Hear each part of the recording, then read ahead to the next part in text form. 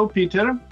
Uh, good morning, Vincentas. Uh, good morning. It's really morning, despite that we have one hour difference between Lithuania and Hungary. In Lithuania, we have uh, 10, 10, 18 at the moment, and one one hour before in uh, in Hungary. But never mind. It's uh, in any case, it's morning, and uh, it's really nice that we have you today for our online discussion.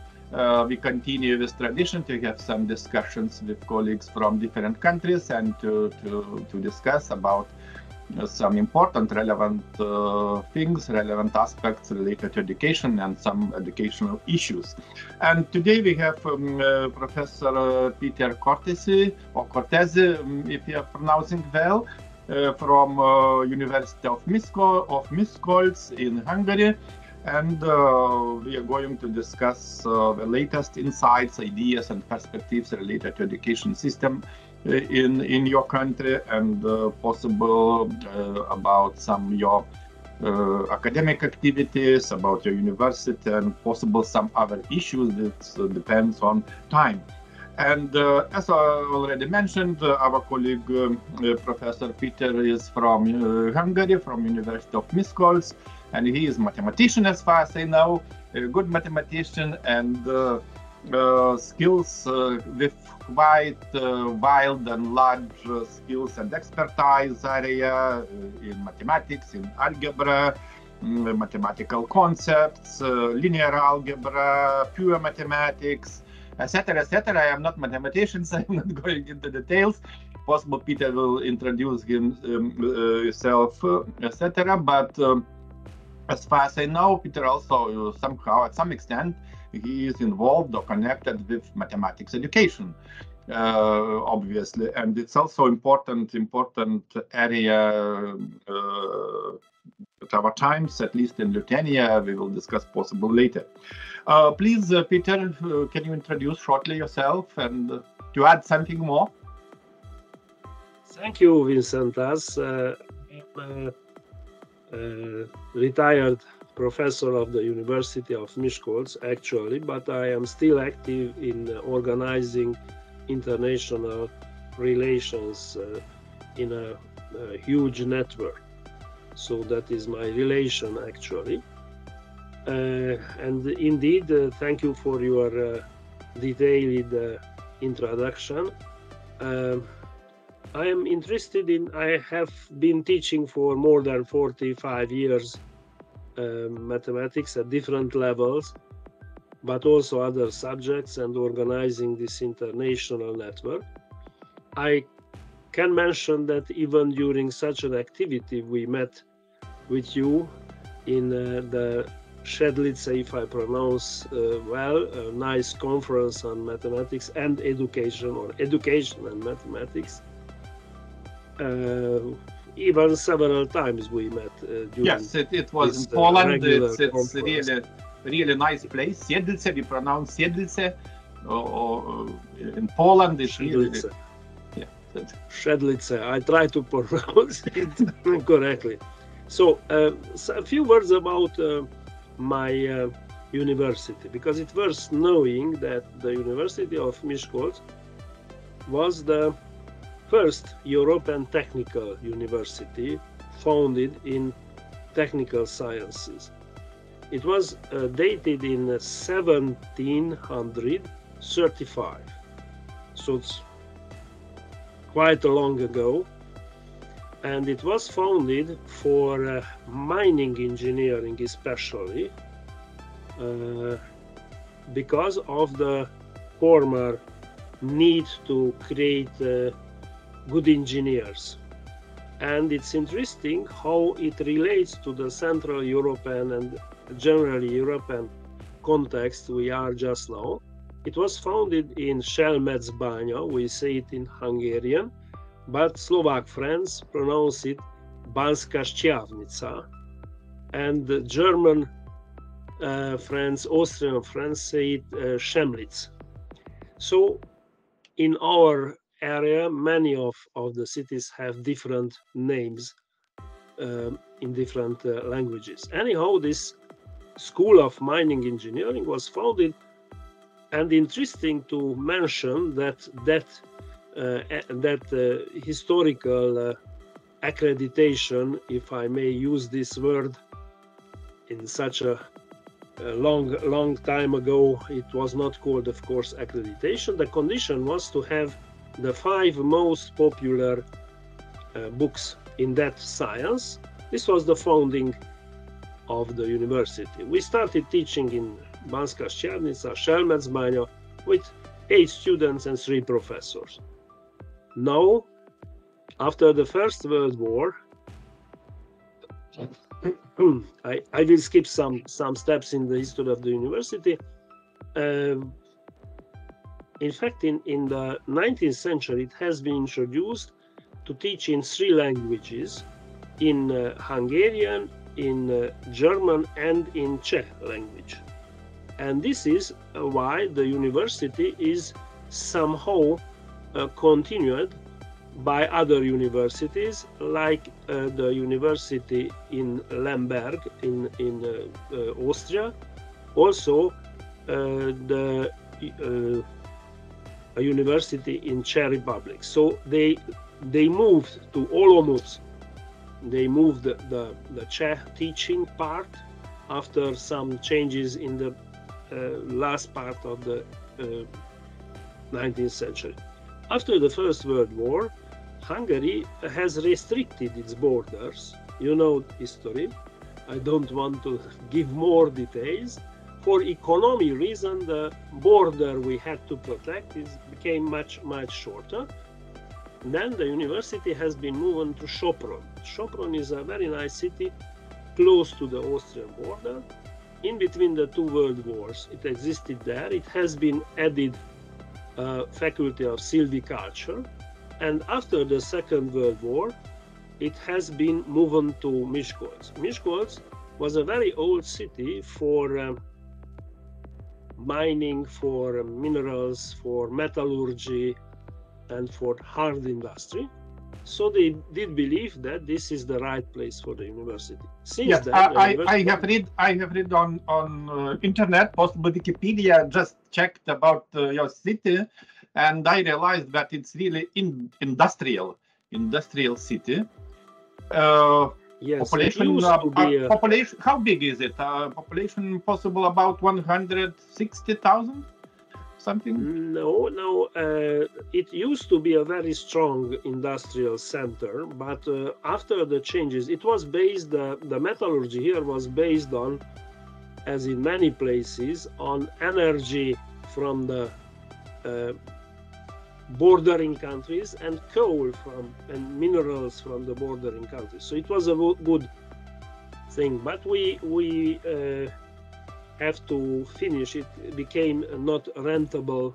Uh, the uh, hard industry, the uh, siderurgy, metallurgy, uh, and uh, even mining had a delay, a strong change. So uh, that time Miskolc used to be over 200,000, 210,000 inhabitants. But to our luck, uh, the city escaped somehow, and now we are a, a, strong university center. Our university has nine faculties. We introduced other sciences as law faculty, faculty of arts, faculty of music, mechanical engineering, informatics, and many. So we have now nine faculties. And uh, also the industry uh, is uh, developed uh, by the highway. M3 is called the Hungarian, one of the Hungarian highways, which is very close to the city. And we have an industrial area very well developed. So our university was lucky to uh, adapt to the changes in in the economic way. Now I I uh, uh, was a subject of this transformation, but you asked me about my educational activity, teaching activity, and I would like to mention a very interesting story which might be of interest also for uh, our colleagues in, in uh, your country. Uh, we founded in uh, back in 1991-92 we founded a very interesting circle for talented students from high school. It was functioning at the university, but the participants were the brilliant students from high schools surrounding the university.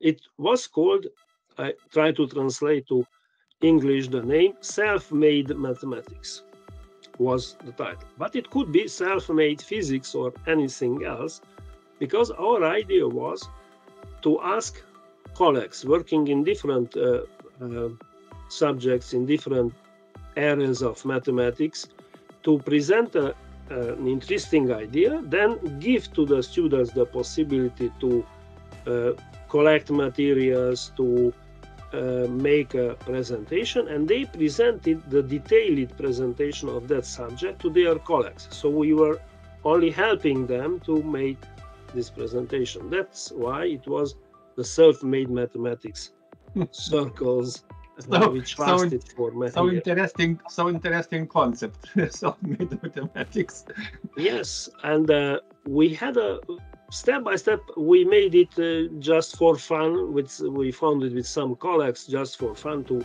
to keep uh, the interest for the university and for the students but uh, it's interesting that uh, how the students the participants which were changing all the time because four years of college of secondary school um, students. Then they left for universities, partly in our university, others went to, to Budapest or other universities, or even in United States or, or wherever possible, in Germany, Magdeburg.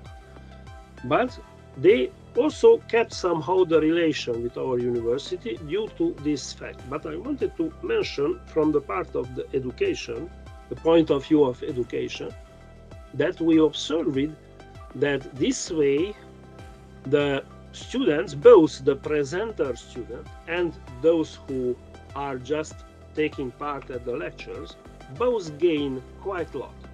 Because to organize the lecture in the sense that you speak to one of your uh, school uh, colleagues from uh, class team uh, colleagues, so the same age people, you have to formulate what you want to say in a different way, not respecting all the rules of the scientific language.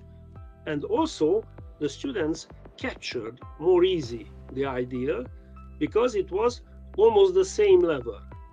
I play football with, with the guy who presented a, an interesting story in mathematics, and step by step, they they uh, involved more people. I remember that uh, preparing for Germany for Potsdam, junior mathematical congress, but not only mathematics, could be anything else, that we had a girl who, uh, that time it was not so easy to make a PowerPoint presentation. We had slides on plastic, and uh, she did change one single geometric figure 17 different times because she was not uh, self-content of uh, so, uh, not uh, Uh, accepting her own presentation said i use better bigger letters i move a bit the figure and so on which was that time not so easy because i had to buy hundreds of slides which had to be printed and so on so these were some interesting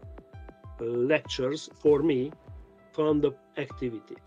By by the way, we, we won with this team. There was a team of 10 students I, making a good book, and in yeah. Potsdam we won the best presentation for the students, not for me.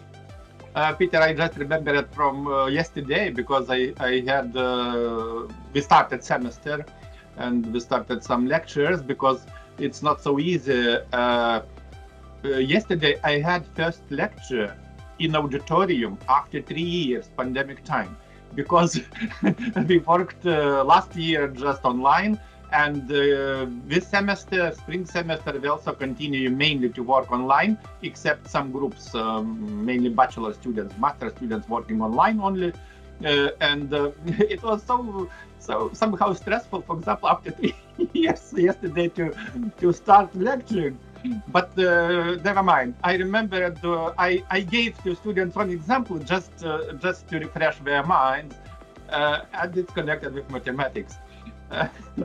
um, I asked, um, for example, uh, you, uh, your colleague suggested uh, being in cafeteria or cafe uh, or pizzeria, suggested to order two pizzas, uh, 30 centimeters each diameter, 30 centimeters, you know. And but another colleague said, no, let's order one pizza 45 centimeters diameter. and who is right? Which pizza is bigger? Two pizzas of 30 or one of 45. I understand the problem. And what was the solution? Students said, no, no, two, two pizzas is better. yes, uh, maybe for the pizzas it's better because two pizzas you can order with different toppings and uh, then it's uh, something more amusing. Yes, right. But, but, but having, in mind, uh, having in mind the question which is bigger. for, for yes, the same, yes, that is yeah, mathematical for formulation of the problem. yeah. Okay. Also, uh, just a last remark about this self-made mathematics. We had an excellent uh, student there. He won the International Mathematical Olympiads gold medal summer. And uh, we invited, of course, to this uh, circle to have a lecture and he held a two hours lecture very boring. Very boring. He, it was his first lecture. He did not understand that the 11th version of the solution is not interesting for those uh, his colleagues.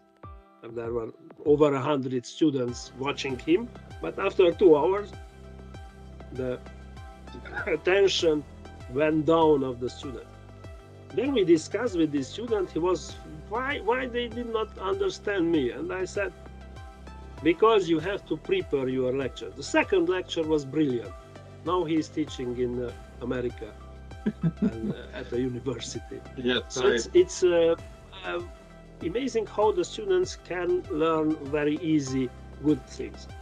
Also a side effect of this uh, circle was that i organized quite a lot of conferences about 20, 29 I organize in this period, even more, summer schools and so on, but only conferences. And these students were my helpers because I was not in a leading position like a rector or director of an institute. I had my circle.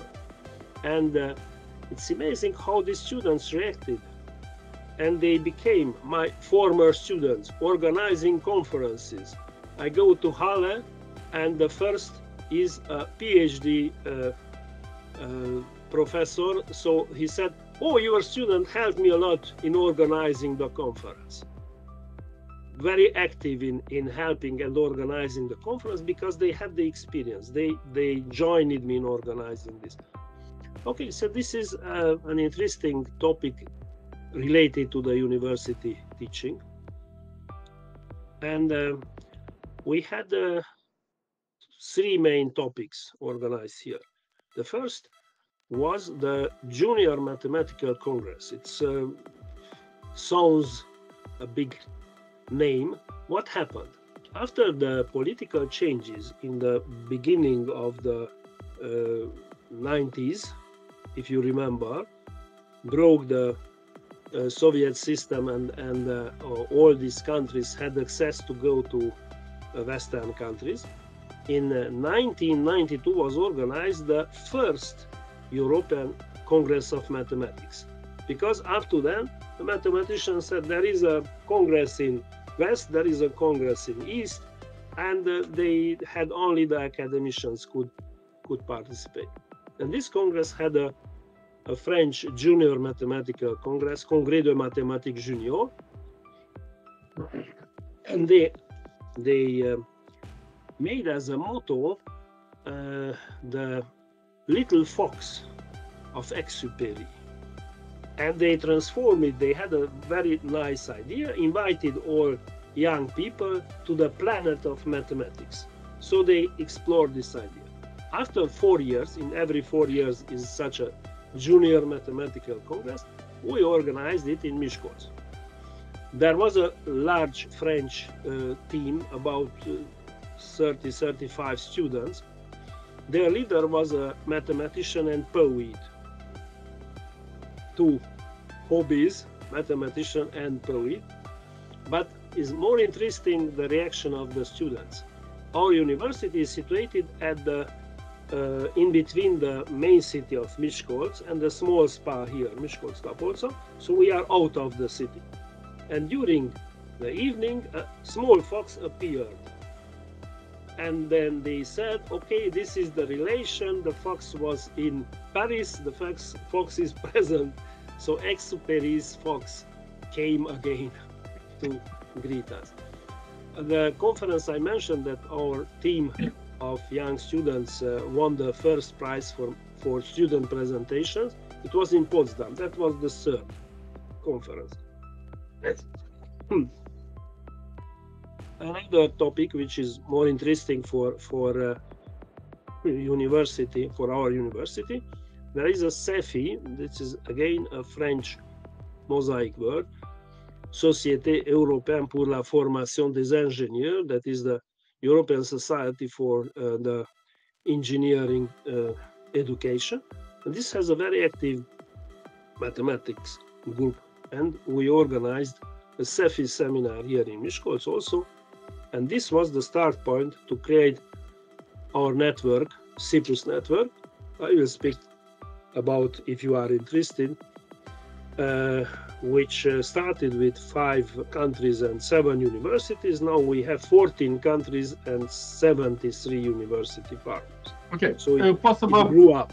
uh, possible we will return back later to this. Uh, uh, at some extent, we already started to discuss about education, education system in Hungary, but uh, let's focus on more on more detailed panorama. And traditionally, it would be nice, obviously, to talk about education system in your country, just general panorama.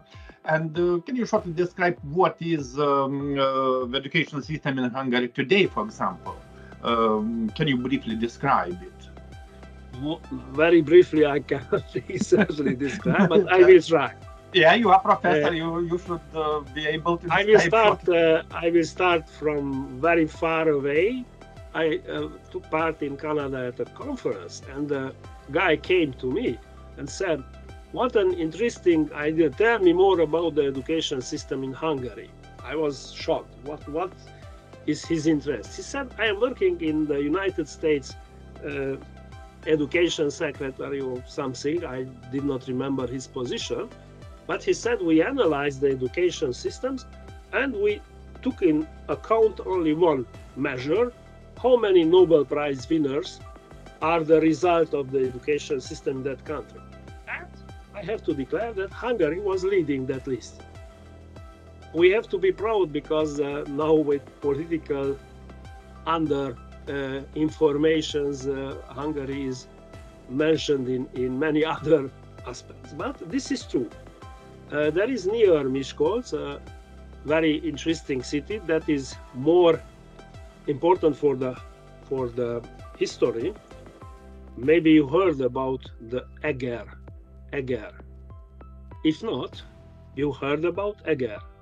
So Eger uh, was a small uh, fortress, and when the Ottoman Empire started to occupy Hungary back in 1552, 26, 52, they occupied Buda Castle, they won many big fortresses, castles, but they had to stop. They united, they had two big armies, and they united under Eger and they said, Oh, this small fortress, we finish it in one, two days. And the attack was over 70, 70 days, so more than two months. It came winter, and the Turkish lost the battle. So Eger is a good place uh, for Hungary. I mentioned very long because in Eger there is a vocational school, which also is interesting for our university because we have many students for the electrical specialty of the mechanical engineering faculty. So Eger has a school. The name of the school is after Wigner. Eugen Jenő, we say in Hungarian. Wigner Jenő was one of the Hungarian Nobel Prize winners. And he visited, he was alive when he visited this school named after him. It's unusual. And uh, they made up a small uh, park where statues of Hungarian origin Nobel Prize winners were elected. And uh, there, Wigner stood with his own statue and said, You will stay here and I will be passed away for many years. So it's a very nice, interesting. If you go to Eger, visit not only the castle, the fortress, but even the Nobel Prize winners. So the the first, the one one uh, measurement of the educational system was this, and I agree with that. But uh, we we fight with many many problems, as in many countries. During these SEFI conferences uh, I mentioned, SEFI seminars, we oftenly analyze the teaching of mathematics in engineering uh, high schools, uh, universities, technical universities in all over Europe. And uh, the result is that the, not only mathematics, but the education is uh, fighting to solve this problem of, of uh, transition between the old way of teaching and new elements of teaching and also uh, the Bologna changes affected quite a lot of this this uh, system. But I think we we do not uh, discuss the Bologna system, the advantages or disadvantages of it, just the consequences uh, for our education. Now, you asked me about the educational system in Hungary. We have uh, uh, we call it college which is uh, the uh, what is the expression uh, theoretical high schools. Colleges we call it in hungary. But uh, uh, Peter, it, it's uh, it would be nice to shortly clarify the terms because sometimes, for example, college in Lithuania, it means it's element or institution, higher education institution uh, because we have been a tertiary education system consisted from colleges, it means non-university studies, and universities with university studies. But it's ter tertiary or higher education level. Uh, when we're talking about secondary level, uh, we have uh, so-called gymnasium and pro-gymnasium, or lower secondary level and upper secondary schools. Because, uh, for example, as you mentioned, with uh, high school, usually it's American term, and it means anyway secondary level. Um, what is in Hungary? Yes, uh, we are also a bit confused with these uh, notations. I remember the right uh, expression in in education literature is secondary grammar school is that theoretical school which is sometimes gymnasium, lyceum, and other names. And indeed, college was used uh, in the past and actually for those schools which are somehow intermediary in between the baccalaureate and the uh, higher education system. Mm-hmm. But uh, during the history, there were very good schools which uh, attained this level of uh, so over the baccalaureate. They they have been teaching subjects over. But to return to the Hungarian system, we have this uh, system of uh, secondary grammar schools. We have vocational schools, which are uh, very strong, sometimes even uh, stronger than, than other uh, even grammar schools, because they, they offer beside the baccalaureate, the exam, the final exam to enter the university, they also offer some diploma technician level diploma. So they are the vocational schools, most of them offer this program. As uh, another subject is that in Hungary, the uh, teaching, the elementary, secondary, lower secondary, upper secondary teaching is uh, 12 to 13 years. 13 in the case that they got another diploma, like uh, electrician, technician, or engineering assistant or other level of, of uh, diploma beside the, the normal baccalaureate. Uh, the, uh, there are in Hungary all these kind of forms. So we have four elementary, then eight gymnasium type or uh, then there is also a system six plus 6 mm-hmm. There are other schools which teach six, so a bit enter the the uh, the upper the lower secondary level, and then it uh, uh, continue with other six. And there are also gymnasium with uh, eight, four plus eight, and eight plus 4 mm-hmm. So all these levels I mentioned 13 years, but that is only for vocational schools. If you have another qualification, vocational qualification also. And uh, as far as I know, for example, uh, mainly in Balkan region, like um, okay, like Slovenia, like Serbia, like like um, other countries, they usually using this term elementary, elementary education, elementary level, and it, it means uh, at least uh, six or nine grades, uh, nine years. For example, in our understanding, this again more or less American term because elementary usually it's kindergarten level. Uh, in Lithuania, we use uh, not only Lithuania, it's also European Commission officially use these terms primary and secondary. And we have, for example, primary level, also called primary school, from first to fourth grade. It means four years. Uh, because in Lithuania we have usually four plus four plus four. Mm, four years primary school, four years pro gymnasium, and uh, plus um, additional four years gymnasium level.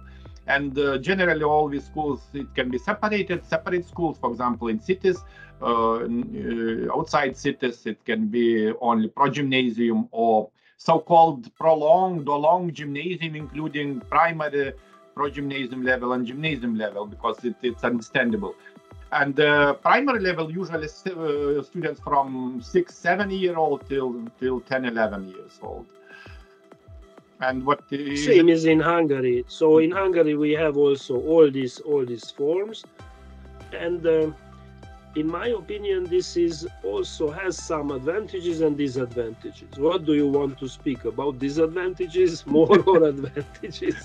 Okay, let's let's mention uh, some of them. Some advantages, some disadvantages shortly. Okay, so I see a good advantage that uh, students entering in this long period where even 12 years they go to the same school, it is possible with primary or elementary the seven, six to six to ten years uh, age of, of the students uh, and go up to baccalaureate to the same school. This is some some uh, aspect. This could be an advantage because the student has a, a culture of that that school, that education form. It's it's uh, the the teachers know uh, where to direct the students uh, according to the level, to the uh, aptitudes of the student. But the disadvantage is that if uh, the family changes location, moves to another city,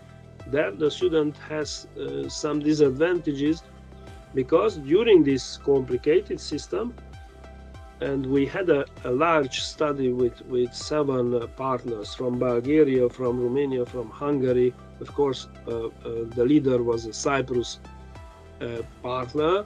Also, we had from Italy, from France partners, and we tried to compare the teaching level in mathematics, and we observed enormous differences. So some of them uh, did not teach that, but teach other things. So uh, in if in a country there is uh, this va various system of education, uh, then it is uh, difficult for the students to change uh, their way. If they need to change, if they need to go to another school, and so on. So it's it's uh, this this problem I see as a disadvantage. Also, we have some special schools. Uh, sorry, I don't want to popularize them.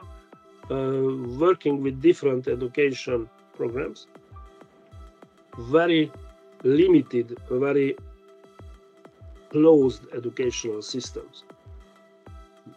I would say one word, but it's not. There are several programs like Waldorf schools. They have good advantages, good results, and so on.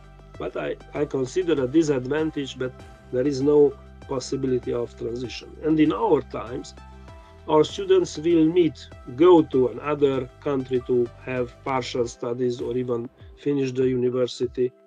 Then the system must be somehow at the same level. Their knowledge, uh, what does it mean, uh, baccalaureate, and so on. Uh, this is a, a, disadvantage. I remember that uh, and I met him uh, personally, he died about uh, 10, 15 years ago. Professor Howie from uh, St. Andrews University uh, was in charge for the United Kingdom to solve this problem, to make a, a kind of unification of the different education uh, uh, systems. Uh, his report was called Howie Report, that is uh, back in the years 90. He finished this, uh, this study. And the first thing was that um, uh, somehow must be a core curriculum. But you have to know that we fight for that core curriculum only for mathematics, for engineering, for technical, and we do not succeed to have a common point. We have some basis that this must be in mathematics, uh, but is is very difficult. And uh, in Hungary, we had very interesting, very good, uh, and I know more about the mathematics uh, uh, manuals for schools, but sometimes the manual written for the seventh form was uh, not in contradiction, but not covering all the areas for the eighth form in another menu. And then the schools choose we want this kind of manuals to use, we want that kind of manuals to use, because they said this is a good for education, for a big variety of education. That is true because some ideas, some uh, presentation versions uh, could be more successful in a way or another. But uh, if uh, you look to the other end, when the student enters the university, then you can find these differences uh, make a trouble, at least for, for mathematics.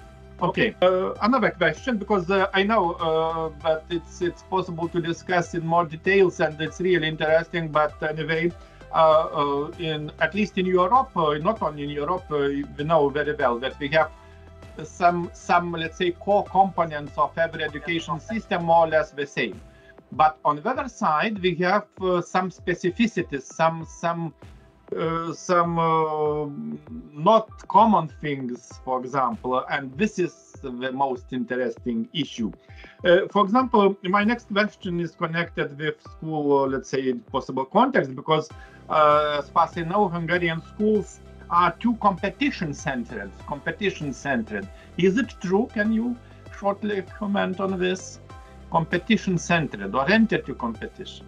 Yes, yes, uh, this is true. This, is, but not competition centered. We value quite a lot the competitions.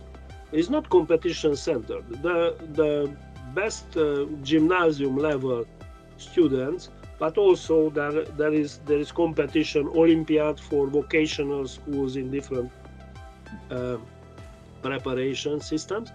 But it's it's interesting for the students. Uh, I I uh, would say, uh, I just tell you two things that uh, Hung Hungary and Romania they started the first uh, mathematics journal in Europe. The first was in 1894 in Hungary. The second was in 1896 in Romanian uh, mathematics journal. So this is somehow culture in in this uh, area. Bulgarian were also very good. And even, maybe you do not know, let me remember for a, a moment, I got a very sad news uh, yesterday evening. Uh, one of my very good friends, Joseph Pelikan, he was the advisory board uh, uh, president for the International Mathematical Olympiad. So uh, he told me quite a lot about the mathematical Olympiads. The first three mathematical Olympiads back in the uh, 50s, years 50, so 1951 52, was founded, the International Mathematical Olympiad, by Romanian, Bulgarian mathematicians and uh, Hungarian mathematicians. And then now they have more than 150, 160 countries taking part. But there are quite a lot of uh, of different competitions. Even I could mention one. I don't know if this is an advertisement, negative or positive. We have uh, for schools uh, two type of, of very popular competitions. That is kangaroo. Probably you know this. Uh, in which one uh, 60,000 of, of students take part.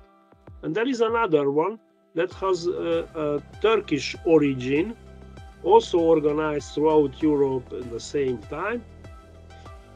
I do not remember its name, but uh, this is mass mass participation. So even in Kangaroo uh, or in the other uh, conference, there are quite a lot of countries involved, and uh, they uh, like to have uh, lots of participants from each country.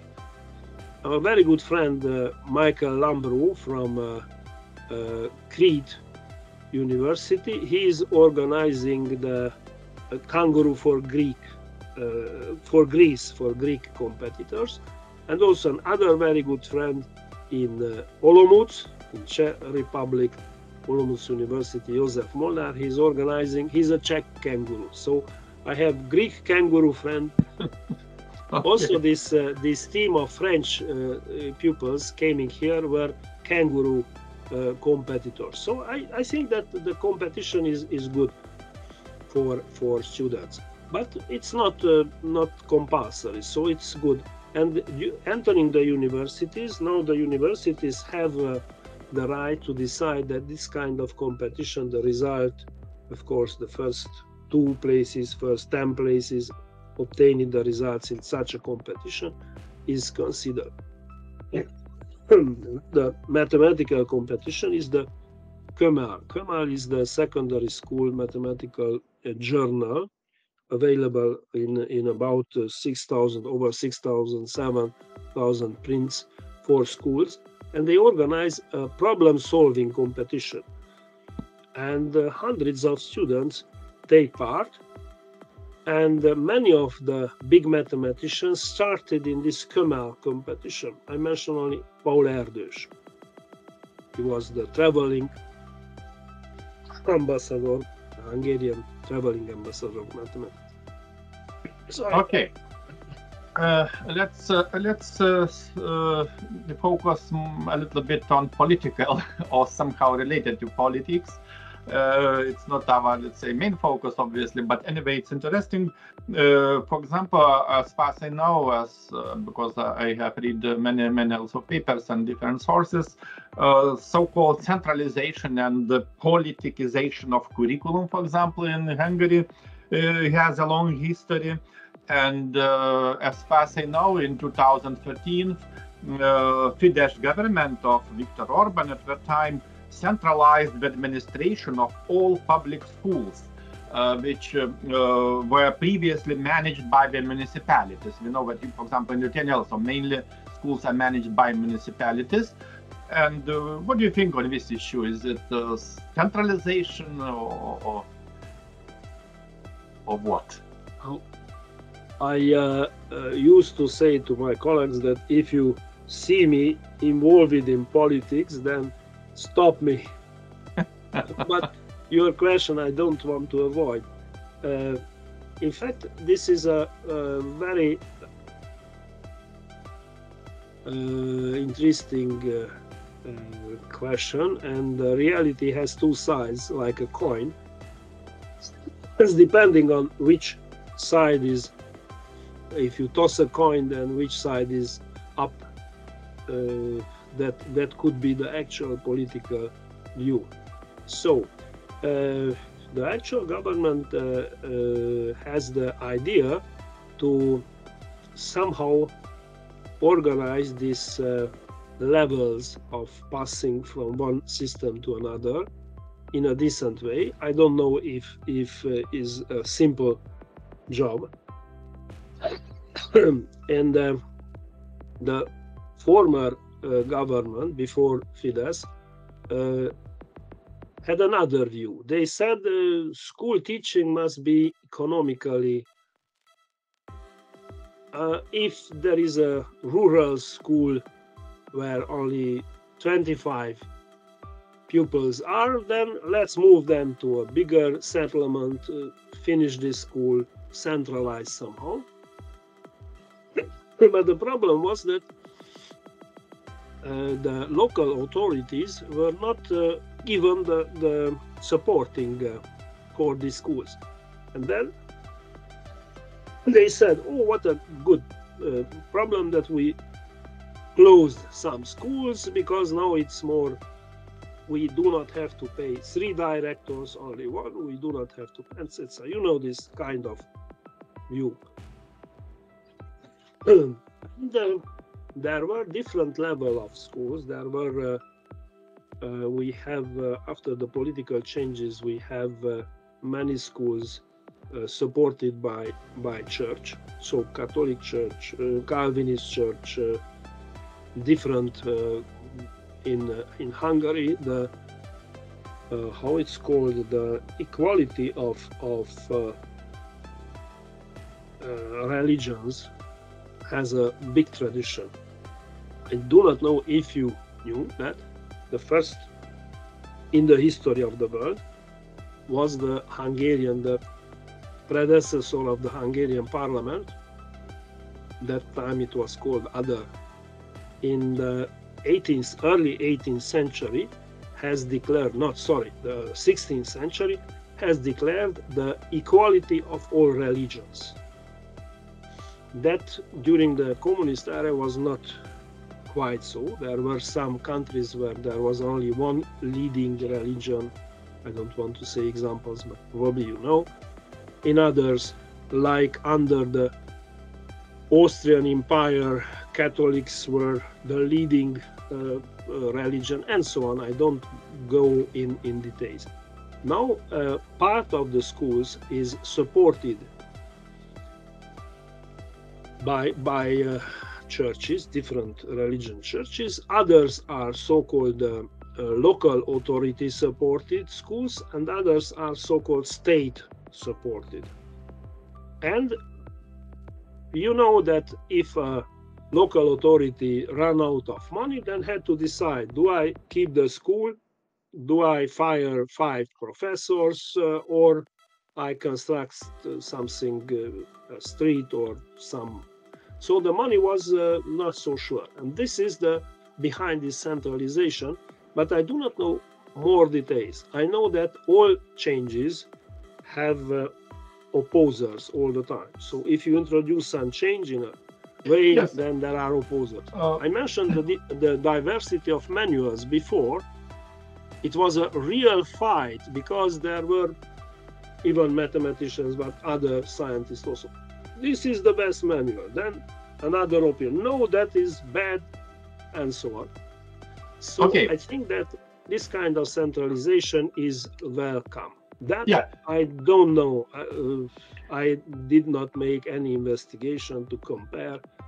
I know that the the teachers uh, and uh, this this system you mentioned also uh, created some difficulty because they said that uh, the teachers must uh, not finish their studies, they must undergo to periodical preparations, and if they meet some some conditions, then they are promoted to higher level.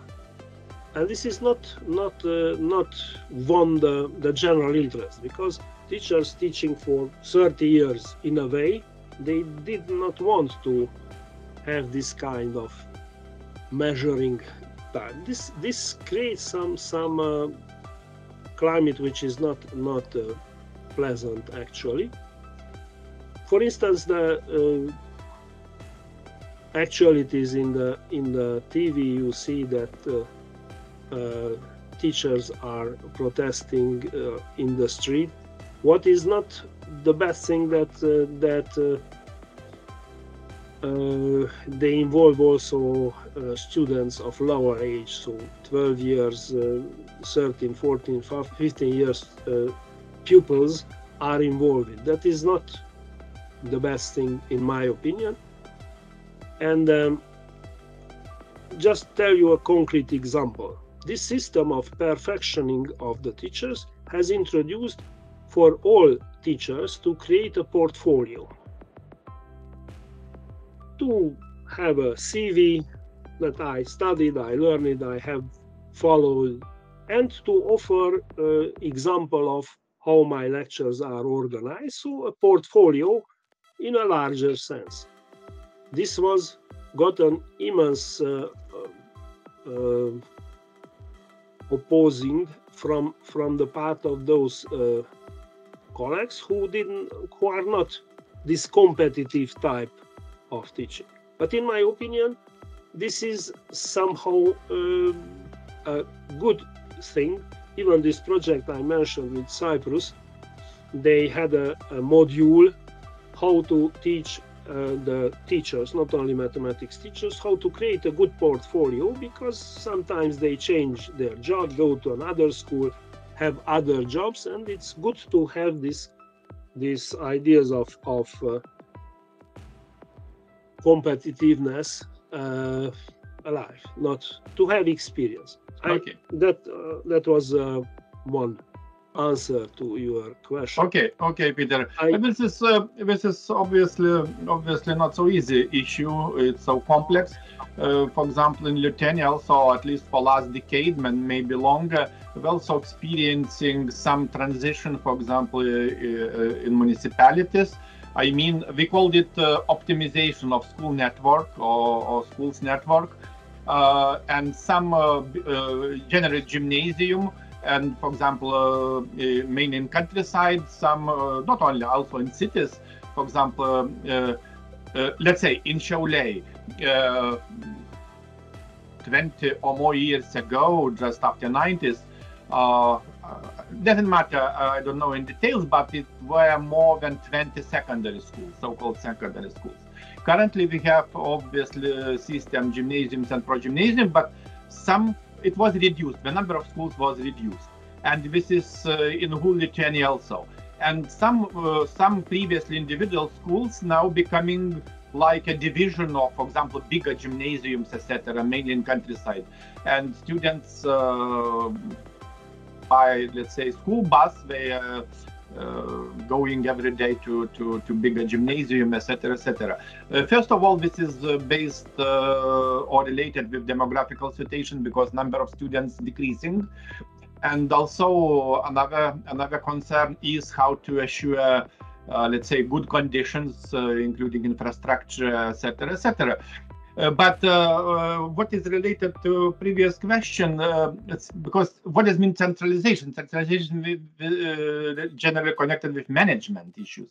For example, despite that we're optimizing, for example, in Lithuania, schools, schools, school network, they also they belong to, they continues to be managed by municipalities at municipality level. Uh, obviously, except except for example some private schools, etc., etc. But uh, if I understood well, in Hungary, centralization uh, mainly connected with managerial issues, with management. Possible, it's it's not correct. Okay, let's let's continue uh, from this context. Just uh, just uh, the question um, we could call also optimization of the conditions, but okay. the thing is that uh, with this transition uh, the schools, uh, this fear of disappearing a school has passed. But they need to respect some conditions which are not so easy. Yes, sure. And also this optimization could could also affect the fact that that uh, maybe maybe Lithuania is also the same, but I do not know. that step by step it was introduced that all the manuals are uh, free of charge for students. So from the first elementary class up to the baccalaureate, all books are free of charge.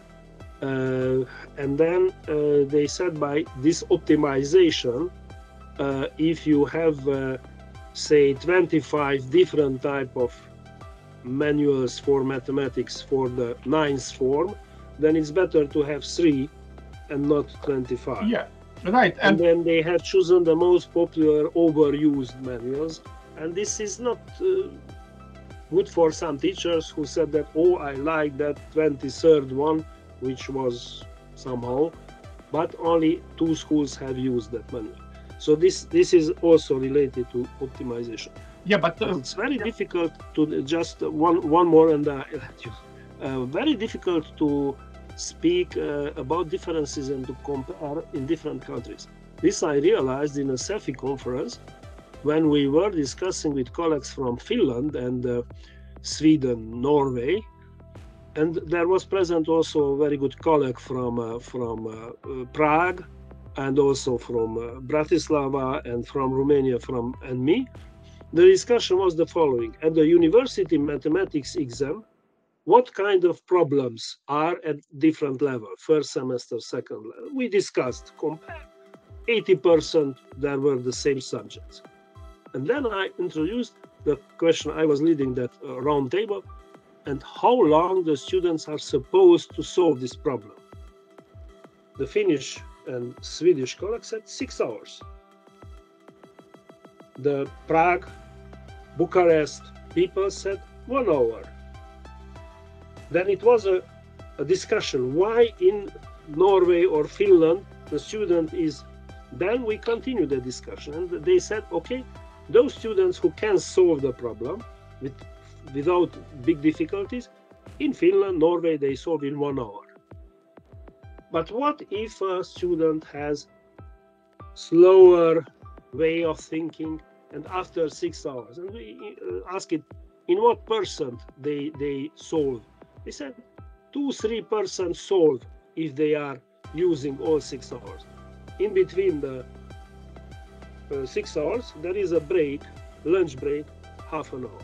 So they stop solving the problems, go out, drink a coffee, eat a sandwich, and come back and so on. And we ask it and what is the professors the same everyone leaves the problem so it's it's different and the content the mathematical content was the same and then uh, a colleague uh, marie demlova from prague asked them but if the your student will have to project a bridge do you allow him to uh, make the project in 17 years because in Prague they need in half a year project and and we teach our students only this pressure of time is involved. They said, okay, but what if a student has some difficulty? So it's it was mathematics, all we knew each other, but there was a big, huge difference in interpreting. And they said the most important reason of colleagues from Nordic countries was that, but at the baccalaureate, they have five hours. Then at university level, you need to put some more. That's why the university exam is six hours. We stopped and we could not have a joint solution for the problem. Okay, sorry for the. Yeah. Okay. Uh, let's um, let's go further because time is also running quite fast. Uh, I recently uh, I read one report uh, uh, to uh, related to educational system in your country, in, in Hungary. And uh, the question, I was surprised. It's so interesting, so interesting and ambiguous, ambiguous question. What is wrong with the Hungarian education system? For example, now I, I give this question to you. Please, shortly, what is wrong with the Hungarian education system? Is it provocative question? Maybe not. I, uh, in the position that I, I have uh, two answers to this question: nothing and all. but I put the same question to a colleague, a younger colleague who was involved in these projects, and he's the director of one of these uh, secondary grammar schools. And his uh, professors, his teacher colleagues, are very active in organizing these demonstrations. And I asked them, uh, but what they want to change in the educational system? And he said that nobody knows but the actual form is not good. So this is a wrong answer. I, I better uh, uh, remember Professor who we were discussing in St. Andrews University some of problems. Uh, I had a great respect for him and uh, regret that I, I knew him only uh, in this uh, late period. And he said that he was not interested in the arguments of others he took the best team and created the project for uh, how the mathematics program should be in the United Kingdom. But already Scotland did not accept that. that. But he made a report for this one. That time there were uh, also political elections in the United Kingdom, and our Scottish friends, my Scottish friends, uh, did not enter in political things. And uh, this was interesting for me. I said I saw a very interesting uh, political advertisement yesterday. The question, the advertisement said that uh, somebody is in charge to organize the football team representing the United Kingdom. One part will organize in the following level. All, all uh, and parts. So all all parts of the population must be uh, must be in the team. The team of uh, United Kingdom will represent United Kingdom. So we put an old lady uh, on the left, a young chap, and so on, and made a social uh, respect. This was, uh, of course, the advertisement of the opposite side. The opposite side said that we hire the best uh, captain for organizing and he will choose the best players and that's. So it's uh, this two levels. I have to tell you that when I asked their opinion, they said, sorry, we have no opinion on this. So this was the end of this, uh, my political question. Now, to uh, comeback, uh, there are there are of course uh, all the time there are problems with the salaries.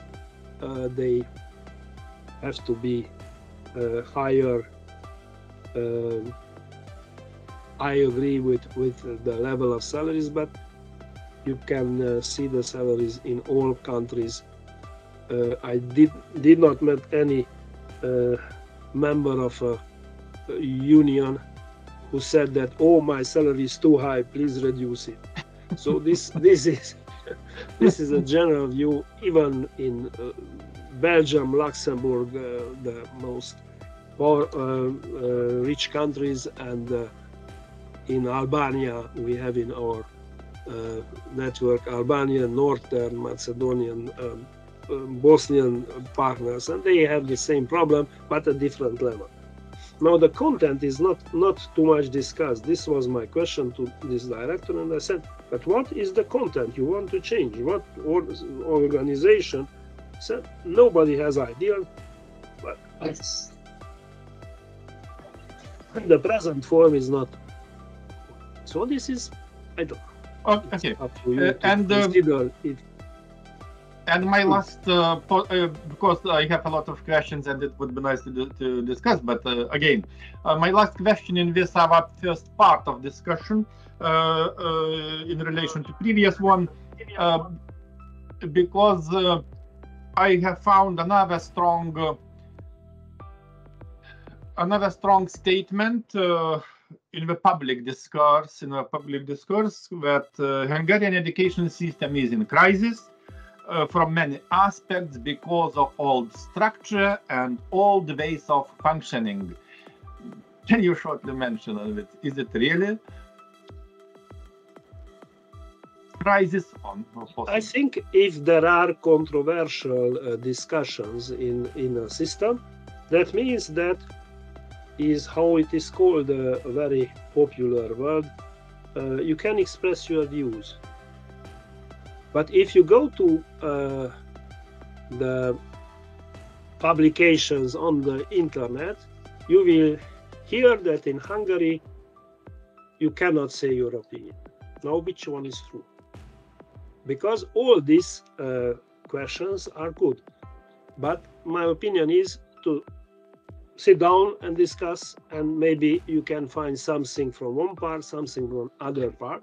But to say everything is wrong is not the basis of a fruitful discussion. So, to answer your question, indeed, uh, there are uh, different concepts in in the education. Uh, I I told you that I do not uh, agree with the ideas that uh, all the students have to be involved in these discussions. Uh, I think more more the educators have to uh, discuss in between themselves all this. Uh, yes, and then, right. then uh, but Peter, I have uh, just one, one, one fact I found on, on one report, European report, just, just for interest, I checked before our discussion. For example, uh, in relation to education investment and uh, public expenditures on education as percentage of uh, GDP, um, for example, uh, decreased uh, from 5.5% to, to 4.7% in Hungary. Uh, from uh, in comparison from 2010 till 2020, during 10 years period, uh, percentage of GDP decreased. It's um, somehow also criterion. How, however, I am a mathematician and uh, I would say that I am uh, interested in numbers and figures. I uh, uh did not read this kind of of uh, of questions, but uh, that could mean also interpreted in another way. Let me show you how a political interpretation sounds. Then I will contradict myself. Looking to that figures, uh, what is better? If the GDP increases 20%, but the part for education decreases 0.5%, or to keep the same GDP and keep that higher percent for education. If you made the computings, then you end up with a result. I do not know this kind of details. Yes, but, uh, but I, uh, I just want to add Peter, I just want to add, but, but uh, in comparison with e European Union, yes. if European Union, uh, let's say average, it's more or less the same trend. For example, uh, in comparison with EU average, uh, also decreasing from 5% till 4.7. It means that uh, uh, at the moment 2020, Hungary and European Union at the same level, 4.7%. I know what I know is the following that uh, in uh, about 20 years ago, uh, they started the uh, former uh, left wing government started a very nice project. They bought and uh, sent to the schools, even rural schools, uh, new modern uh, what is the exact name for that smart uh, tables. So there was no more black, no more smart white, board. but smart, board. Smart board. Smart board. Uh, and there were some rural schools. Afterwards, they realized the contradiction and finished dissolving the schools, where there was no uh, English toilet, English type toilet, but the pupils from rural area went by the end there was a wooden part where they used that. Afterwards, there was no clean water to wash hands, but they had smart board. And uh, now they have more conditions, maybe less smart boards. But uh, the elementary conditions by this uh, type of, of uh, change of, of view could, could be solved somehow. Now, in this uh, last uh, 10, 12 years, in the education, there appeared some, some things, some changes. For instance, most of the schools have to have physical education place.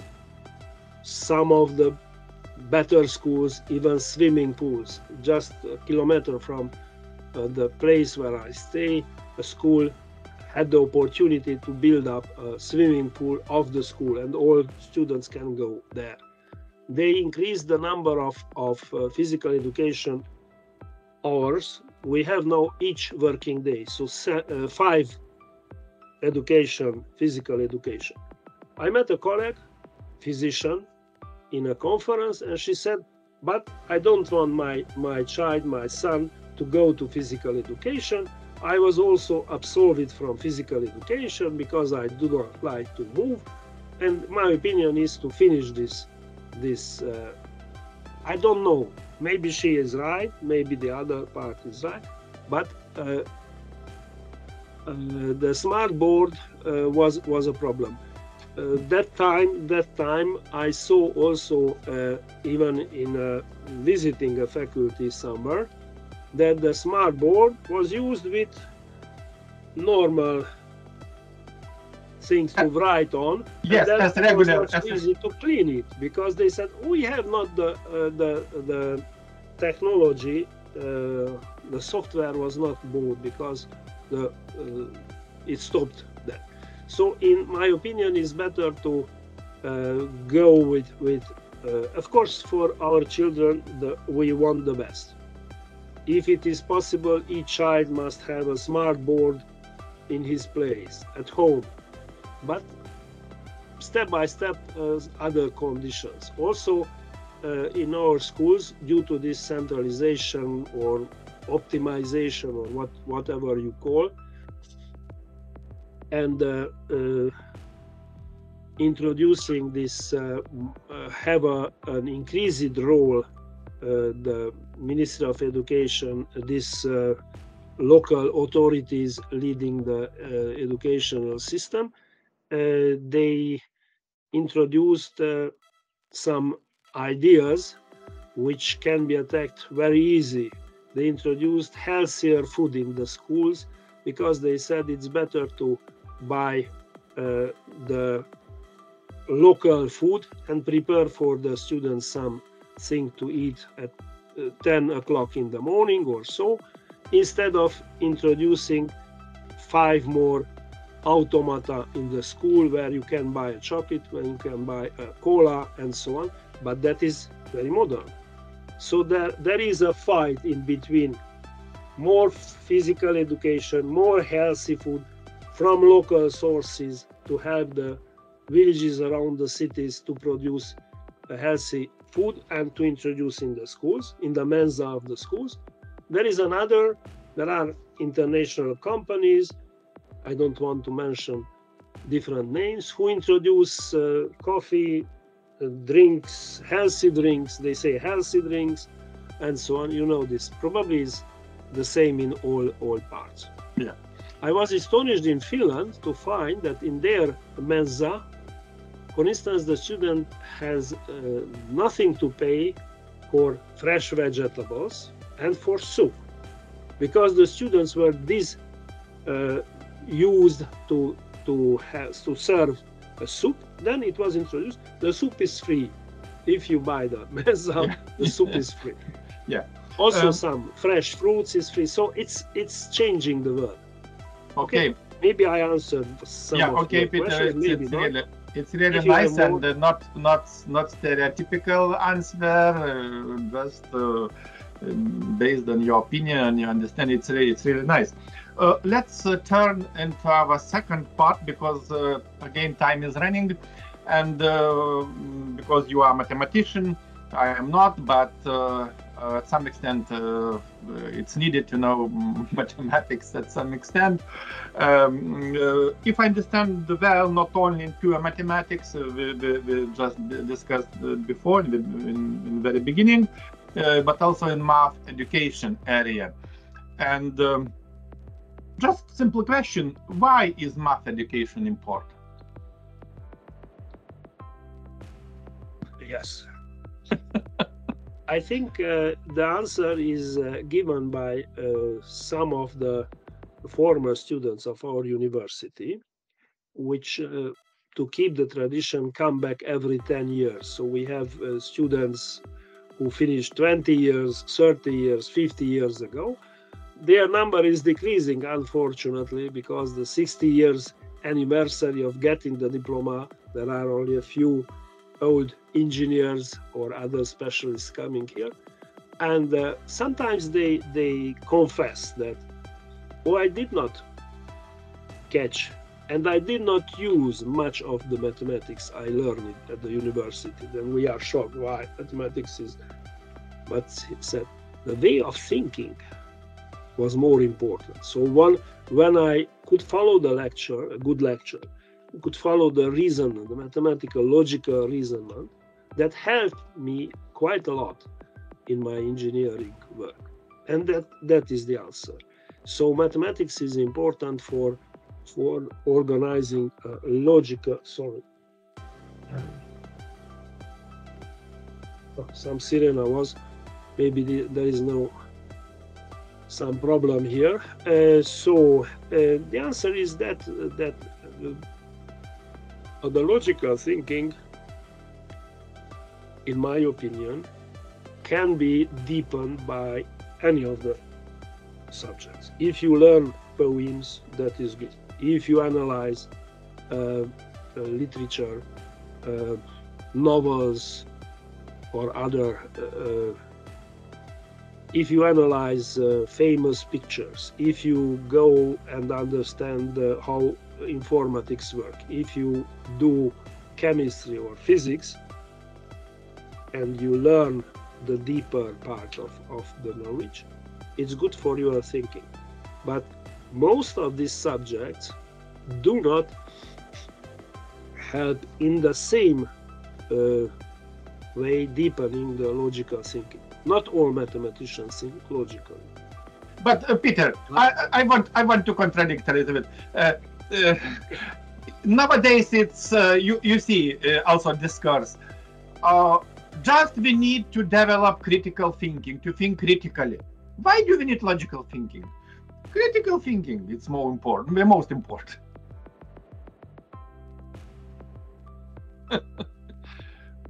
Uh, uh, to answer you, it's a very simple problem because critical thinking is based on logical thinking. You cannot uh, criticize something if uh, you are missing the logic because it's easy to contradict you if you have a good logic, sometimes uh, our students in, in law faculty, uh, they, they make this kind of competitions to keep a discourse to prove one idea, then change role, and then keep a discourse to say against. And this is good for, for developing the logical thinking and then it's upon the, the content if they uh, defend a, a, good case or not quotation sign so uh, the contradiction contradicting or uh, is also based on uh, yes uh, in logical in Lithuania we have uh, ways continuous discussion on math teaching uh, level. Uh, for example, for some last years, the mm, uh, poor math results are extremely worrying. And uh, I do not know in details, but for example, yesterday it was announced that our Ministry of Education uh, introduced some plan, something like a plan, like a strategy uh, related to improvement of mathematics teaching, how to improve uh, because, for example, mm, uh, our results uh, have been consistently deteriorating for a long time and uh, for example, around 35% of uh, did not reach a satisfactory level. If, if, for example, for better understanding, approximately from more than 15,000 holders who who took part in the exam. it means that did not pass the mathematics exam. what is, let's say, situation in Hungary? Uh, my answer could be similar, but uh, in my opinion, this is uh, not not the point. Because as I said previously, if you deepen your knowledge in any area, mathematics, non-mathematics, linguistics, learning foreign languages, your intellect will, will develop. And I met students who were fond of chemics, but they hated mathematics. And when they entered deeper in chemistry, they found that they need to learn good mathematics to understand their chemistry problems. In my opinion, the uh, level of, of uh, uh, general knowledge of our students in the last 20, 10 years whatever period you want to analyze, is not decreasing, either in mathematics or is changing. So, uh, and adapting to the, the conditions. If you look to a mobile phone or a tablet or something, you will see this kind of clip type information. Just for one second, you have an information and you have to formulate your ideas from this. 50 years ago, 40 years ago, when my teachers were students, they believed in lecturing two hours, developing slowly, logically, and we learn it. And some of us, maybe sometimes me too, I am uh, believing that it's good to have such a long logical discussion proving something in mathematics. But I am not convinced that this is the best way to, to deepen the knowledge. If you can abstract from two second clip something which is crucial for your studies, then it's also. But I am too old to change my views on on uh, how to teach mathematics. I always had a problem that if I saw somebody not understanding something, a simple mathematical, logical something question, I try to go behind him and see from his point of view what is he did not catch there. Sometimes is based on lack of, of knowing some elementary computations. Other type is it's everybody is doing so. Give you a simple example. Uh, for those who do not uh, who believe in computers, in laptops, in pocket calculators, I ask them frequently what is one third plus two third. They say, of course, one. I say, and your student who is using calculator, pocket calculator, we answer you 0.99 because one third is 0.33, two third is 0.66. They add the two, believe 0.99. Is this a true answer or not? This is a true answer because if you order in a building industry 1.99 tons of cement, that will give you whole ton of cement. It's not nine. So 0.99 was a good answer for, for the question. uh, when we were students back about uh, 50, 40 years, we had in, in the Mensa, not Mensa, in the uh, student hostel, we had engineering students beside. And one night around two o'clock, they were doing their projects with logarithmic ruler for young people. It says nothing, this logarithmic ruler, but uh, they, they were doing, there were no pocket calculators that time. And we, we wake it up with a laughing uh, team of engineering students and they said what what happened why you are so happy they said by the logarithmic ruler somebody put 2 times 3 and the other was working only with the logarithmic ruler. 2 times 3 is 5.01 because on the logarithmic ruler if you move a bit the ruler then it's uh, showing uh, this is the answer. So some of them has to memorize 2 times 3 others compute with no with any kind of smartphone or something. But the answer must be sure exact and so on. So education is changing. The students knowledge level has not decreased has changed. But we all teachers like me and maybe others we have to adopt this idea that their way of understanding is changing. If you give them a good idea then they get one uh, an example for my teaching uh, uh, i tell to the students uh, which which is better of two watches. I have a wristwatch which is completely broken and another which is in advance one minute each day. Of course that is in advance with one minute. It's you can compute after a week it has seven minutes in advance so you can use that broken you cannot use if you put that question to a computer any smart computer will answer that broken is better because it shows twice a day the exact time. The other only every 10 years will show the exact time. Now which one the answer which one is the right answer? Yes.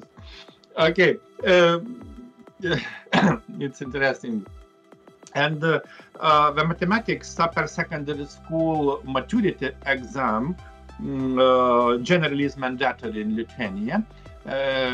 What about your country?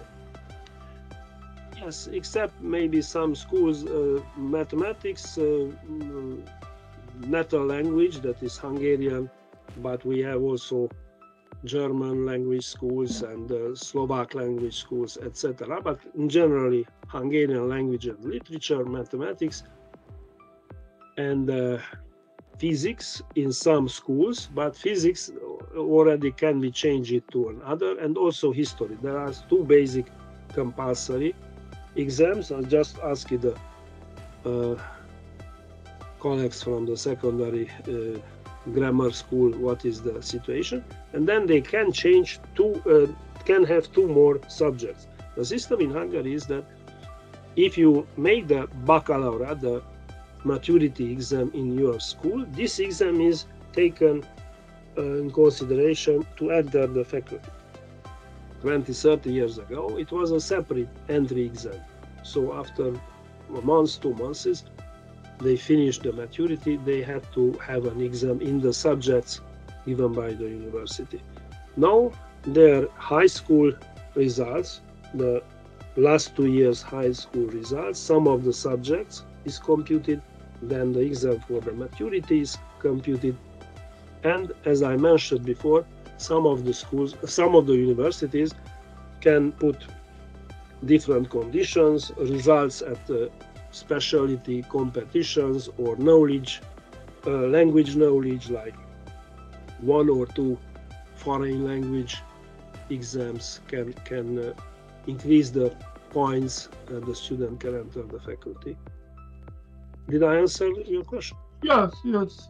Um, uh, uh, just uh, I, uh, uh, I want to also mention because I was not directly involved, but uh, uh, okay, already last year at the end of um, September, officially we finished our one Erasmus Plus project. It was connected also with mathematics, not only with science, science and mathematics. It's Bridge, Bridge2Teach. Acronym is Bridge2Teach. Uh, developing bridging courses for mathematics and science teacher students. It was coordinated by University of Vienna in Austria, Faculty of Mathematics. And uh, uh, one of the main uh, idea was to prepare so-called bridging courses for uh, pre-service mathematics and science teachers, and mainly who entered uh, recently in university, for example, uh, first year stu university students. And I was surprised that in many countries, in this project, by the way, it was involved Austria, Lithuania, Czechia, Italy, um, Slovakia, and uh, in previous uh, part uh, also United Kingdom. But in this project, they were UK was not included, and. Um, oh, so different level, so different level of preparedness uh, of entering students. They so diverse, uh, having in mind uh, math background, etc., etc. And idea is to connect somehow to help them um, to reach appropriate level what is required at university, for example, in math and also in science. Obviously, it's it's possible more difficult in science because we have at least three main area: physics, chemistry, and biology. And uh, my, for example, my team was responsible mainly for for science and in particular for physics and, and chemistry part and we work together with Czech colleagues and Slovakian colleagues.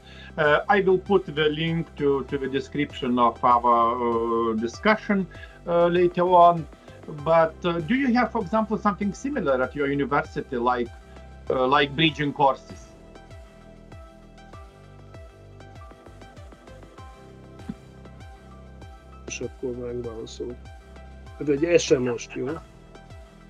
Uh, just uh, I had a phone call I had to answer. About this uh, subject, we have in SEFI also this, this subject of uh, equalizing the level of, of uh, first year students. It is a very difficult problem. We had different different experiments, even in these SEFI meetings from United Loughborough University, then uh, other uni- Bristol University, we had colleagues dealing with this from uh, France, from Spain, Finland, Sweden, Czech Republic, Romania, Bulgaria, Austria. But uh, we could not uh, say that this is the best way to any of the methods. So there are uh, attempts to measure the knowledge of the entering students, mathematics, physics, etc., and to ask them to finish some in some kind say mathematics zero course which is the entering the same level but the disadvantage of this kind of, of things i will tell you other solutions as well this kind of thing uh, is uh, that we need to uh, put more stress over the students which are the more stressed. Because those students who have lack of knowledge if you put from physics mathematics language some extra courses then they have no more time to learn just to follow these courses because it's a prescription. If you do not obtain a 60 percent in mathematics zero you cannot take mathematics one two and so on. This type of, of question. So it is increasing the level. So we got no solution for these extra courses i remember in bristol and also loughborough. Loughborough is the open university uh, type education. They try to create a so-called mathematics excellence center where uh, higher year students, young uh, teaching assistants offered uh, courses or just uh, help for students fighting with, with first year subjects, understanding the basic notions, they help them like individual consultation. Also the same problem that uh, the students who lack knowledge, they have, they, their speed of understanding and deepening their knowledge is very reduced. So uh, there was a third uh, system which we also experimented in some of the partner countries, also in Hungary, to introduce some uh, some courses. It is a way of of uh, like in the Formula One uh, uh, racing street side street to change the wheels, but we do not uh, call it side street. Uh, to not to lose the exams of the first year students. They can do some exams, but in mathematics or physics they fail. And to introduce uh, them in the so-called uh, engineering assistant level of teaching. So not to lose those students for higher uh, university, to get a, it's called uh, sub-engineering, if uh, this term is can be used, diploma. So it is not an engineering diploma, but is in between a good technician uh, and in, in these ideas we said or those who were arguing for this they said that this assistance will make the connection between the engineers the engineer will say something very scientific the everyday worker cannot understand them so these assistants will connect them this was not so popular for students. They wanted uh, to have a higher level diploma. They fighted uh, this credit system. Uh, Bologna system is uh, also presenting some difficulties because uh, in some universities adopting this uh, Bologna system, they allow the student to have many credits accumulated from side courses, not the main courses. And then it is the diploma semester and has not got the mathematics 1 or 2 exam or the compulsory uh, exam, which is a final uh, higher scored exam in some some education system. So it's it's no answer for for that. Probably uh, the case is that uh, these students have to be uh, oriented much earlier from the secondary schools, secondary grammar school, vocational schools, uh, and uh, say them that we recommend you better to choose this kind of education, which is at your level, you can progress, but not that. But that is also discrimination and so on. So it's uh, it's um, and some of the students can can uh, maturize in some years so after two or three years they look to the university studies as most more valuable studies and then they but it's it's uh, no answer so you're asking me about the lack of knowledge in science uh, subjects generally is is the same. And uh, you mentioned physics. Physics is also a problem. And uh, we need more teachers not only mathematics. In mathematics we are rather good but in physics is uh, very difficult. Uh, there are 30 places for physics. Uh, best universities and only 20 25 students will choose that because it's uh, difficult to face all the subjects there so they and another uh, subject, which uh, I do not know if it's right time to mention, that most of, of our students are fan of, uh, I, are uh, familiarized from early years with informatics. So for them, it's no problem to move a computer, to rebuild the system, to make something but they refuse to go to find a diploma. After 10 years, they come back. I, am, I worked as informatician after I finished the first year.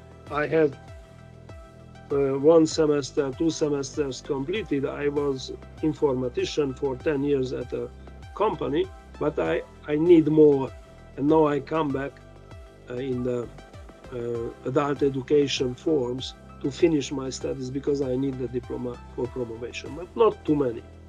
Many of them, excellent, brilliant student, is lost because because of this uh, demand from the part of, of industry.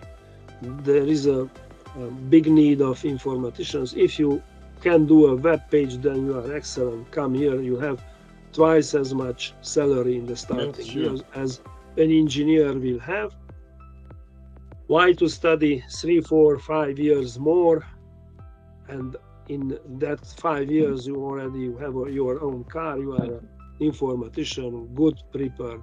But when something is changed, or after 20 years, the informatic passes in a higher level, other level, is not so easy to find them.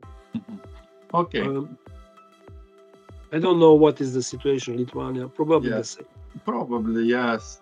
Uh, and uh, our last uh, part uh, shortly, because as far as I know, you are deeply involved in in in CEEPUS or or how to pronounce in the right way network. Yes. Uh, can you shortly can you shortly introduce present this network? It, it would be interesting for our viewers. Shortly is I know, but very difficult question for me. Okay, so I mentioned the political changes uh, in the years 90. This uh, Eastern Central European system of former communist bloc has uh, been destroyed, dissolved, finished. It's a good thing. We can go exchange views and so on. And uh, with that, uh, all the academic exchange programs in between the universities, university teachers, academicians, and so on, was simply thrown away. We do not have the academy in Bulgaria in good relations with the academy in Slovakia to send. And then uh, one one Western country, I could say Central European country, Austria, uh, introduced, and uh, the founding members were uh, countries around Austria. So Hungary, Slovakia, Czech Republic, uh, Bulgaria, uh, Poland. They they entered a nice project. This CEEPUS uh, Mosaic World is Central European Exchange Program for University Studies and has a very simple structure. It is in function from 94 95 and I am the leader of a network since uh, 2000, so very early.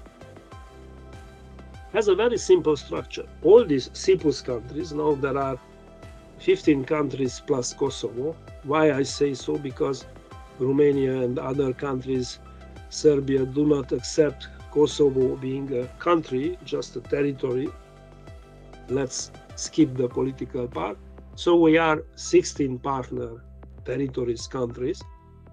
And once a year, the ministers of these countries meet in one of the countries, which is the leader for CEEPUS projects that year, is changing each two years or so round. they meet, they discuss the problems of education, higher education, and they offer.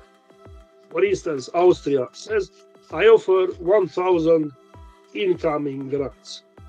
This means teacher and student grants to Austria. Then Slovakia says, I offer 4,000 or 2,000 or 1,000. So each country, according to the budget, offers a number of. We, as network coordinators, we uh, create thematic networks. Mine is active methods in teaching mathematics and informatics, teaching and learning mathematics and informatics. And others are in language sciences, in historical sciences, engineering, etc. Each year, about 80, 90 such networks, bigger or smaller networks, are working. So, ministries offer incoming uh, uh, mobility months. This is the term. The single currency in is mobility months. We do not measure in leva or euro or Hungarian forint or uh, Polish uh, currency. We measure in incoming months. And the networks share this get. For instance, my network last year had about 250 300 mobility months and then we share who wants to send a teacher a student to one of the partners and we use this but it's a fight every year you have to get a renewal if you are not good enough then you are on the uh, so-called uh, umbrella universities which get no support. They are waiting one year but this this works. It's just like erasmus. We need the same rules as erasmus but in erasmus the European Union sends the money to the sending university. Uh, the student or teacher get the Erasmus grant and goes to the financial load is on the sending university, and also the the uh, checking that this student was there, indeed studied, and so on. In CEEPUS is opposite. The host university will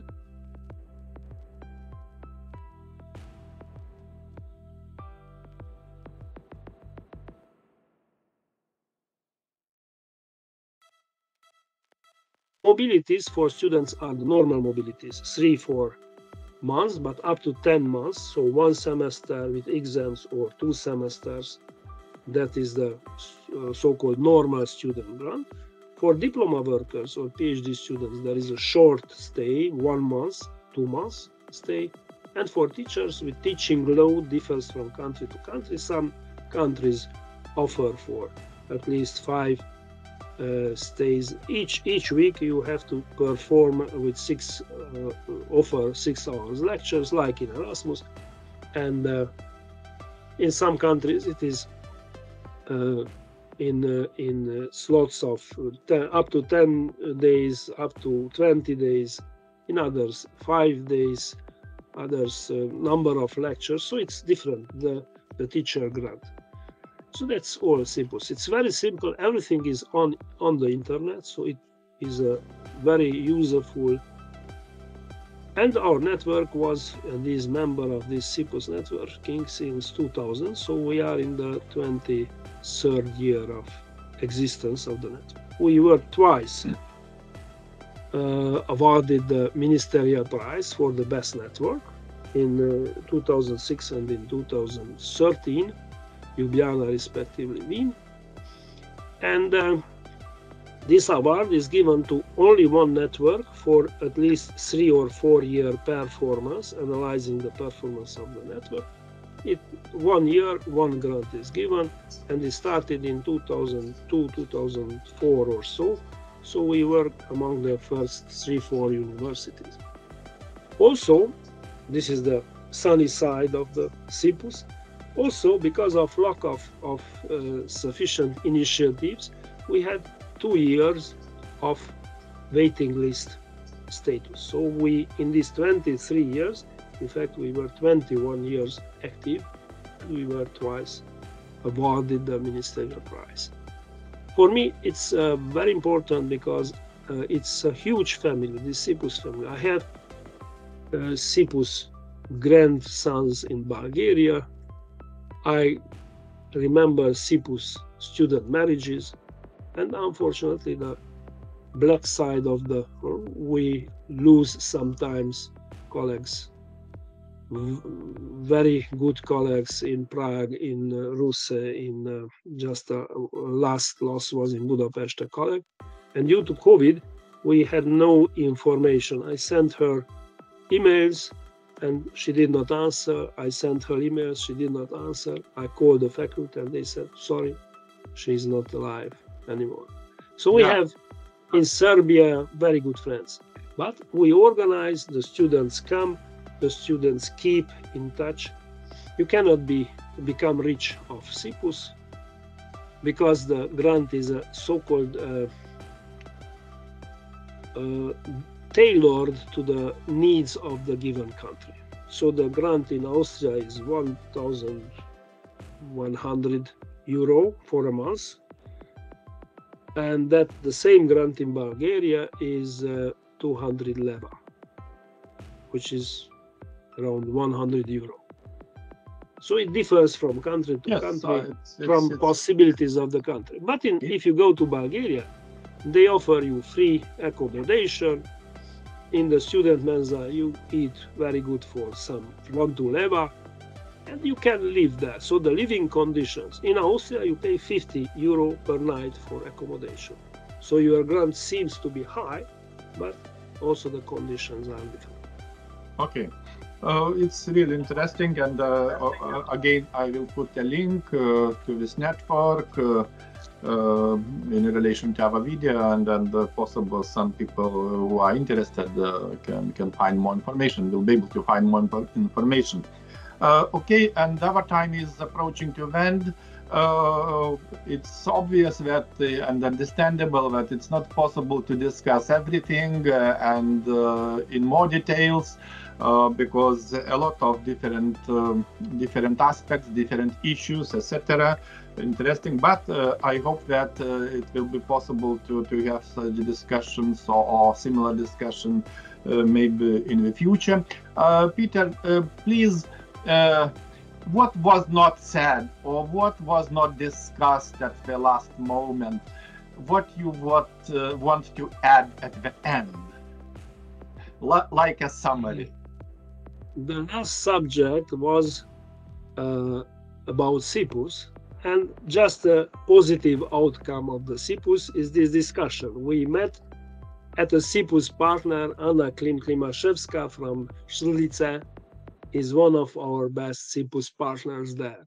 She organizes conferences. I meet people from not only from CEEPUS countries, but from others. So this discussion could not happen if our CEEPUS network was not so active. Yes. Thank you. You're absolutely right, because otherwise possible, uh, yeah, it was not possible to organize this discussion. And uh, uh, uh obviously, we met many years ago in, in, in Poland, in Siedlce, a very nice conference. And as far as I know, the, the conference uh, this this year also Anna is going to organize this conference, uh, mean possible in beginning of June, and obviously uh, I am planning to attend it again as every year uh, only uh, possible only one year or two years uh, during due to COVID oh, pandemic. It, I, I, presented online, but last year I visited in June. It was really nice again to meet mainly the same people uh, uh, and and and to, to have uh, so wonderful wonderful time in Poland. Uh, possible, uh, I visited uh, some. Sometimes I visited also Hungary. I know Hungary, and and possible. at some time, I will visit your university, your city, your nice city. Possible if you. nobody knows unpredictable life. Anyway. Uh, you are welcome. I had a colleague I had a colleague from, uh, he's not alive anymore, from Ljubljana, and he asked me, why do you do this networking?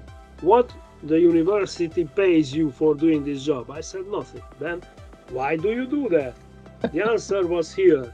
If you multiply our relation and this interview and the outcomes with 72, you know why I was doing this networking and why I want to continue with colleagues. I need young colleagues to be involved. Yes, obviously, because the uh, cooperation uh, and communication among uh, scientists, among scholars, uh, it's really very important and fruitful. You can establish uh, uh, different contacts based on that. You can um, initiate different projects, for example, common activities. It, it's it's obviously useful and and without any doubts. Mm, okay, Peter, uh, I want to uh, say um, many thanks, big thanks to you uh, that you agreed to take part in our online discussion. and it's and at the same time, I hope that uh, it will be somehow useful for uh, for our viewers, possible later, etc., uh, etc., and possible some some ideas, some insights will be also initiated.